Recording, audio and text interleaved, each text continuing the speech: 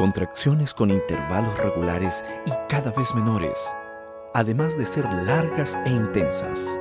Dolor constante en la parte inferior de la espalda. Surge una pequeña mancha de sangre. Rompimiento de la bolsa del líquido amniótico. Estas son señales que, juntas, indican que una gestante está entrando en el trabajo de parto. Señales que ayudan a prever un momento importante. Señales que identifican el fin, pero señales que también indican el comienzo. Señales marcadas por el dolor y muchas veces por las lágrimas. Pero una vez pasado el sufrimiento, llega la alegría y la sonrisa en el rostro de aquellos que esperaron tanto tiempo por ese momento.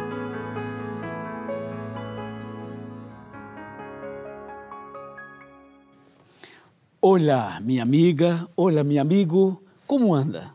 Que tal? Estamos em uma série maravilhosa acerca da verdade.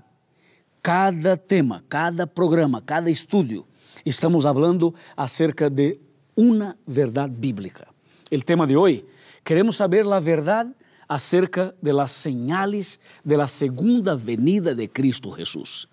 Prepárate, prepara tu coração porque este tema será de gran bendición para ti y para tu familia. Bueno, ya estoy preparado con la Biblia en manos y creo que tú también tienes una Biblia, quizá un lapicero, un bolígrafo para marcar, registrar los textos bíblicos. Eu quero empezar leyendo Amós capítulo 3, versículo 7. Mira lo que está escrito aqui. Nada hace Dios, el Señor, sin revelar su secreto a sus siervos, los profetas. Esto es impresionante. O sea, la Biblia menciona que el Señor no hace nada sin antes revelar sus secretos a todos nosotros, a los siervos de Dios y a los profetas. Bueno, delante de esta afirmación, tenemos que buscar saber responder una o quizá dos preguntas claves de la Biblia. Eu quero abrir a Bíblia agora e te invito a fazer o mesmo aqui no livro de Mateus, capítulo 24, versículo 3. Mateus, capítulo 24, versículo 3. Escrito está: Quando Jesus se sentou en el monte de los olivos, se acercaron a él, los discípulos aparte e lhe perguntaram: Dinos quando serão estas coisas e que señal habrá de tu venida e del fim del mundo? Que pergunta impressionante. Aqui temos duas perguntas em um solo versículo. A primeira pergunta foi: quando? Quando? E a segunda pergunta foi: que señal habrá? Duas perguntas claves.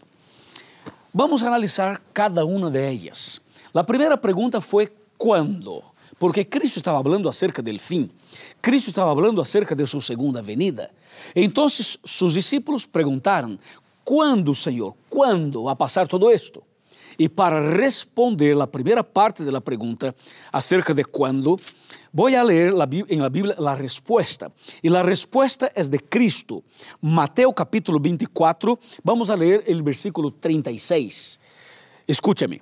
Sin embargo, nadie sabe la hora, ni aun los ángeles del cielo, sino Padre, mi Padre solo, o solo mi Padre. O sea, la primera parte de la pregunta fue ¿cuándo? Y la respuesta fue nadie, nadie, ninguna persona sabe el día, la hora, el mes, el año de la segunda venida de Cristo. Há pessoas por aí, há pessoas que en el passado intentaram marcar uma fecha e definir a segunda venida de Cristo. Um grupo marcou a fecha para a segunda venida de Cristo para 1844. E em 1844 não passou nada, Cristo não vino. Passou uma decepção, o grande chasco. Agora, depois vino outras pessoas, outras pessoas apareceram marcando outras fechas como por exemplo marcaram para 1914, para 1914. E sabes que passou? A Primeira Guerra Mundial e Cristo não vino. Depois marcaram outras fechas, outras em outros momentos, e Cristo aún não vino. Depois apareceu outra pessoa marcando outra fecha para ano 2000. ¿Te acuerdas? Que o mundo se acabaria no ano, ano 2000. E que passou? O mundo não se acabou e Cristo tampouco vino. E depois mar marcaram para 2011, 2012, 2014. Ou seja, sempre estão buscando marcar fechas. Só que Cristo, todavia, não vino. Agora vem a segunda parte da pergunta de Mateus capítulo 24, versículo 3, porque a segunda parte diz assim: Dinos, dinos, que señal habrá de tu venida e del fim del mundo? Esta é a segunda parte da pergunta. A primeira foi quando, e Cristo respondeu: Nadie sabe. A segunda parte foi: Que señal habrá? Então, acerca de la señal, Cristo começou a mencionar vários detalhes, vários textos bíblicos mencionam las señales de la segunda venida de Cristo, para saber se estamos lejos de este dia ou se estamos cerca de este dia. Eu quero invitar-te a ler comigo alguns de estes textos para entender a señal, señal ou as señales de la segunda venida de Cristo. Vamos a ler Mateus capítulo 24, versículo 4. Mateus 24, versículo 4. Escrito está: Jesus respondeu: Mirad que nadie os engane Bueno, se Cristo mencionou chamando a atenção para que nadie los engane, se Cristo estava mencionando acerca de engano, significa que, que em los últimos dias iba a aparecer pessoas falsas, falsos profetas, falsos cristos, para enganar a las pessoas. Mira o versículo 5. Escrito está, porque vendrán muchos en mi nombre diciendo, yo soy el Cristo, y a muchos engañarán. Esta es una, una de las señales de la segunda venida de Cristo. Mira el versículo 6. Oiréis guerras y rumores de guerras. Cuidado, no os alarméis. Esto tiene que suceder, pero aún no es el fin. ¿Viste? Guerras, rumores de guerras, cuidado. Ahora, versículo 7. Porque se levantará nación contra nación y reino contra reino, y habrá pestes, hambres y terremotos en diversos lugares.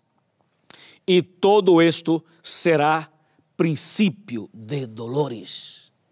Impressionante, impressionante solo princípio de dolores. Agora escúchame, o texto que estou leyendo não termina aqui. E toda esta lista que aparece no capítulo 24, cada detalhe que aparece aqui termina com uma frase: aún não é o fim, aún não é o fim, ok? Agora, quando nós vamos para o versículo 14, Mateus capítulo 24, versículo 14, então aqui temos uma afirmação importantíssima. Vamos a ler. E este evangelho del reino será predicado em todo el mundo por testemunho a todas las naciones e entonces vendrá el fin. Wow, amém. Viste que quando a Bíblia menciona os problemas sociais, naturais, sobrenaturales, quando a Bíblia menciona todo o que leemos em Mateus capítulo 24, a Bíblia termina cada versículo com uma frase: Aún não é o fim. Esto tiene que suceder, esto tiene que suceder, pero aún não é o fim.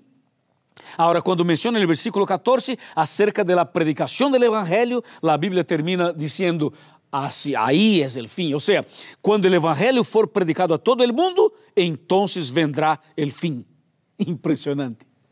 Assim que este momento, quando tu estás aí sentado em, no sofá em sua casa, ou na silla, ou quizá tu estás em uma cama, ou quizá estás em uma, estás em uma igreja, ou um grupo pequeno, ou uma classe bíblica com a Bíblia em manos, aberta, estudando, reflexionando comigo, sabe o que significa isto?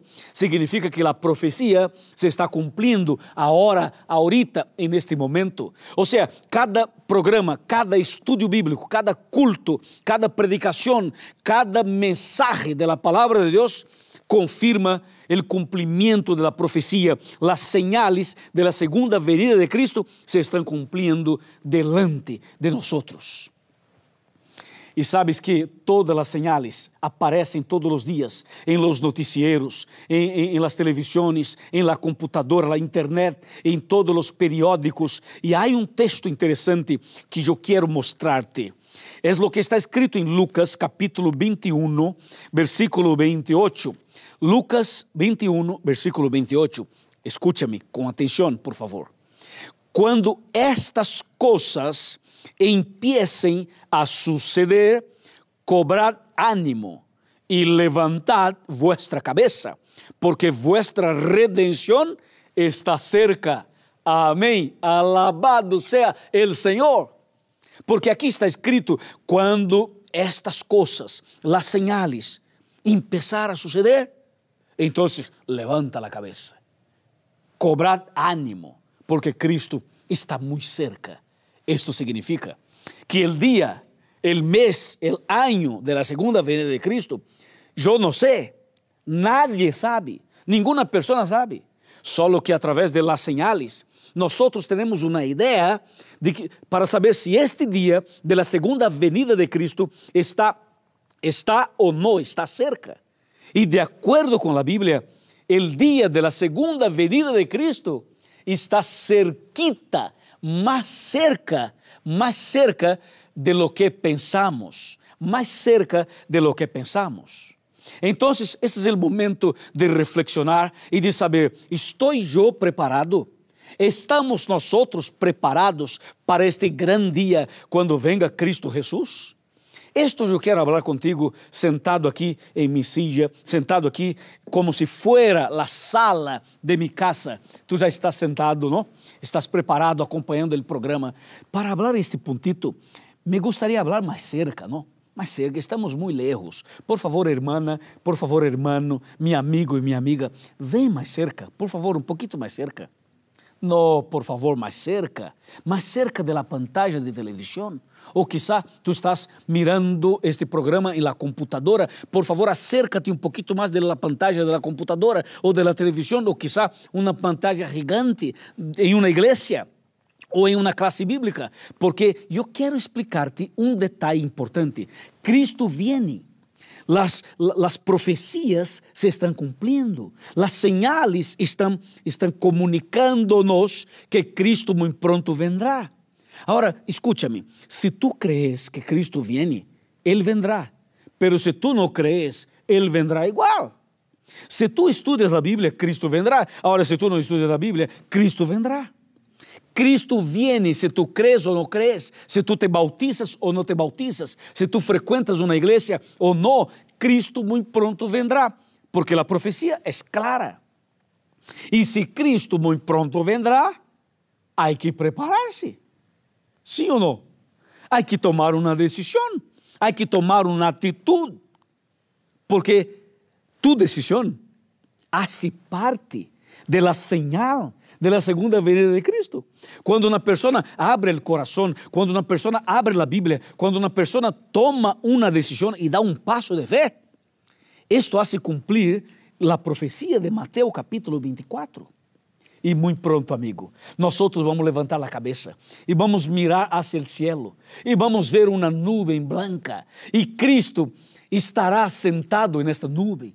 Muito pronto, pero muito pronto, Cristo aparecerá no cielo com os ángeles, os ángeles tocando suas trompetas e será um espetáculo, um dia maravilhoso, o dia quando Cristo viene buscar-nos para levar-nos ao cielo. Este dia é realmente nossa grande esperança. Nossa grande esperança está em la segunda venida de Cristo.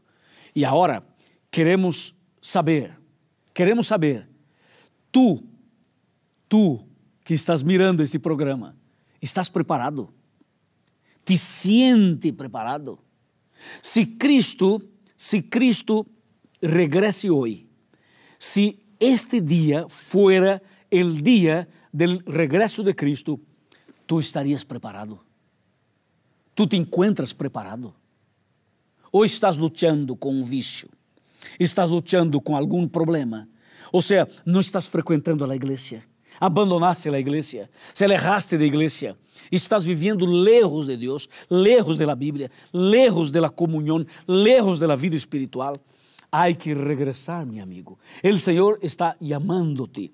El Señor está haciéndote una invitación para abrir definitivamente el corazón y la mente y para dar permiso a Cristo que entre definitivamente en tu corazón para que tú estés preparado para este gran día, el maravilloso día de la segunda venida de Cristo. Amén. Amén. ¿Quieres tomar esa decisión? Deseas estar preparado para este gran encuentro? A ver, a ver, levante a mão. Vamos, levante a mão. Levante a mão tomando uma decisão, tomando a decisão de estar preparado, tomando a decisão de entregar a vida a Cristo, tomando a decisão de começar agora uma vida nova com Cristo no coração. A ver, vamos, levante a mão.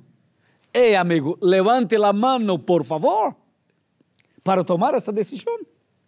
Muito bem, muito bem. Felicitações. Alabado seja Deus. Agora com a mão assim, levantada, eu quero fazer uma oração por ti. Vamos a orar. Inclinemos o rosto para orar. Padre mío, bondadoso Senhor, alabado seja tu nome, porque esta promessa maravilhosa de que Cristo pronto vendrá, llena nosso coração de esperança e de paz. Eu quero entregar em tus manos de amor encomendar cada pessoa, esta mulher, este homem, esta família, este matrimônio, este hogar, este jovem. Eu quero entregar cada um em tus manos de amor. Esto es lo que pedimos, com gratitud, en el nombre de Jesús. Amém.